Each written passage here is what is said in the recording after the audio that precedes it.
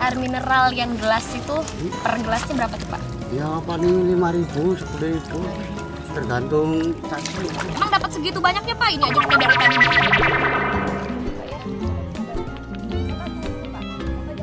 Tapi dari tadi aku nggak dapet dapet juga cacingnya. Aduh susah banget. Ini apa sih ah? Dari tadi aku malah kebanyakan teriak ketakutan gak jelas. Kata bapak sih nggak ada apa-apa.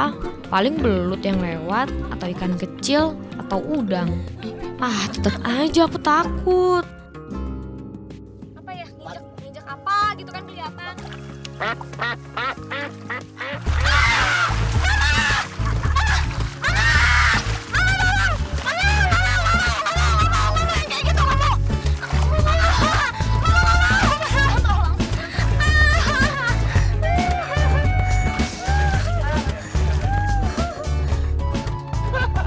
Astagfirullah, kalau ketemu angsa bisa pingsan deh. Itu emang binatang yang paling bikin aku trauma. Kenapa takut sama angsa padahal angsa itu nggak gigit? Bapak nggak gigit sih nggak gigit pak, disosor. Yosor orang itu kan hidupnya di sini setiap hari ya nggak apa-apa itu. Tapi kan saya nggak hidup di sini setiap hari Ngajaknya bapak. temenan kan. Bapak aja temenan sama angsa, aku nggak mau pak.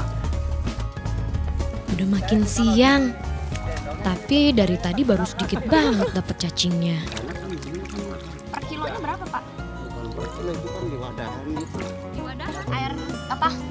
Air mineral yang gelas itu per gelasnya berapa tuh pak? Ya paling lima ribu, sepuluh ribu, tergantung cacing. Emang dapat segitu banyaknya pak? Ini aja kita dari tadi berjam-jam dapetnya segini. Ya ini kan habis di landa air tawar kan. Kata bapak, sekarang ini emang agak susah dapet cacing. Soalnya kalau musim hujan, saluran air di sini jadi banjir. Dan cacingnya tuh hanyut. Lumpurnya juga banyak, kotor lagi.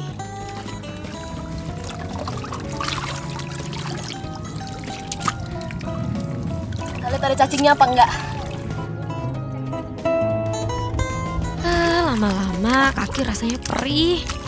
Kata bapak sih karena aku nggak biasa di dalam air payau begini.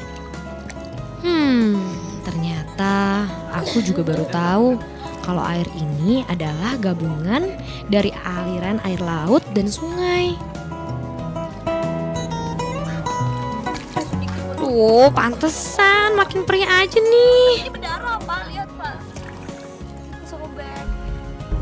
Oh itu Kenapa? Nggak tahu di bawah tadi keinjek apa gitu.